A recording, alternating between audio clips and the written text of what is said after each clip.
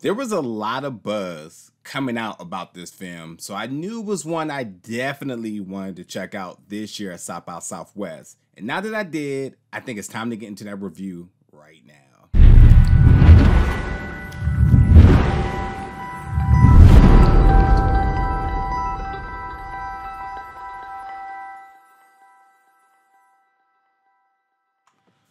What's up, everybody, and welcome back to the channel today for another review. Yes, we're still at South by Southwest 2021, and this time we're talking about the film Executive Order, which is part of the narrative feature category, but also part of the 2020 Spotlight section. Now, what's important about that is because that was last year, and that means that there's been people who's had opportunity to check this already. Nonetheless, now this year, people in the US are also getting a chance to uh, screen this film. And only in the US, although people from all over the world is at South by Southwest, only the US is allowed to see it this year because it will be making its theatrical run in Brazil later this year. So that is a really key note as to where you can find this film um, right now or soon.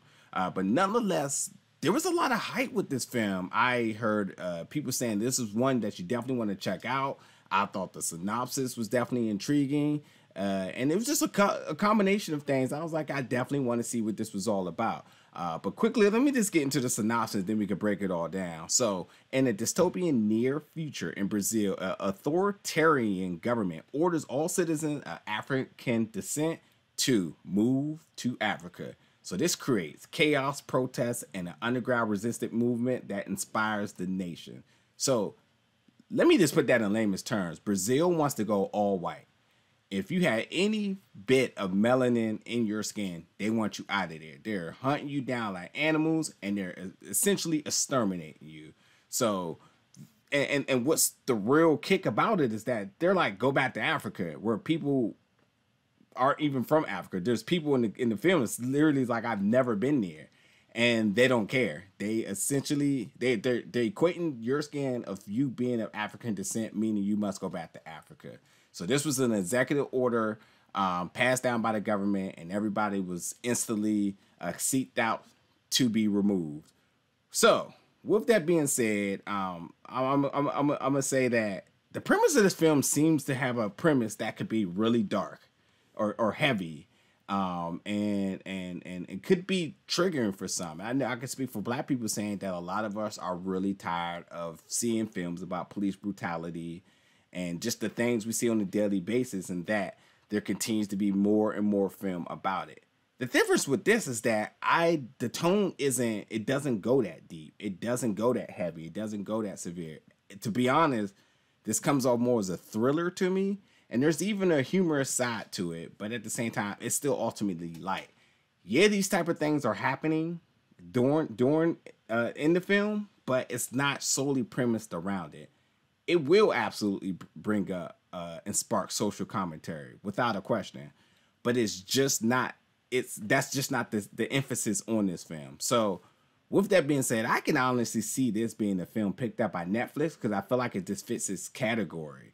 Uh, one because of it uh, being uh, a Brazilian film, and you know uh, Netflix really uh, has a big library of international films, and also just because of the tone, because it doesn't go so heavy and it doesn't go so dark, so deep that um, it it it ultimately is a thriller to me, and, and there's a lot of suspense because essentially you have uh, Antonio, who's played by Alfred Enoch, who is Wes of the show um, How to Get Away with Murder.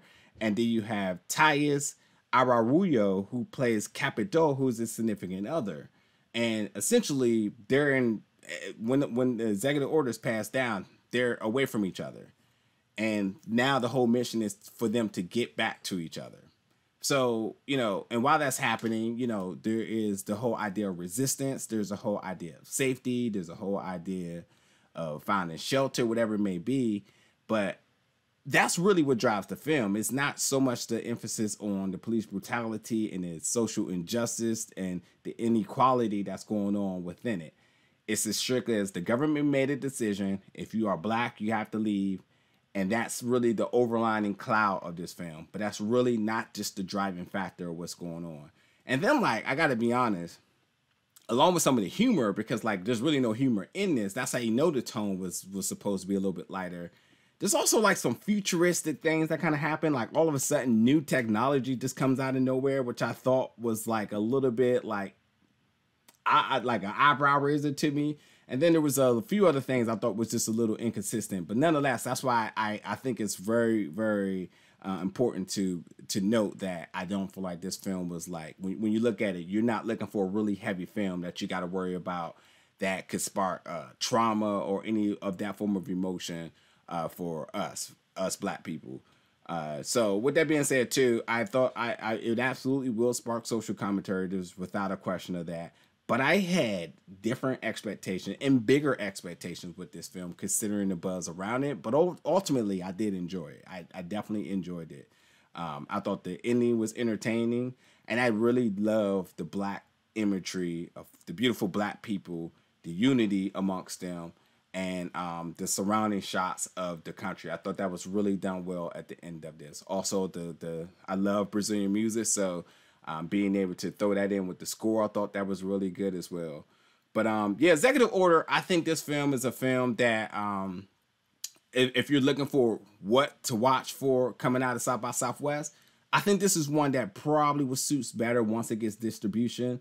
There's a lot of films that's coming out right now, and while I enjoyed this film, I don't think it was um, is I, at least my expectation of this film was totally different than what I got. Not saying I didn't enjoy it, but it definitely wasn't what I thought it was going to be, and that's fine.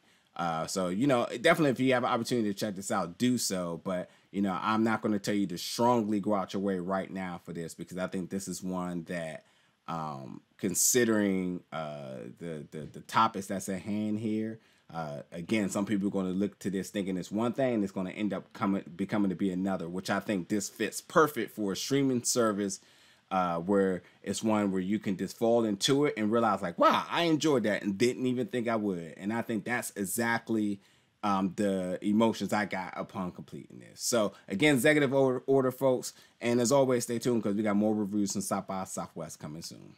Thank you for watching, folks.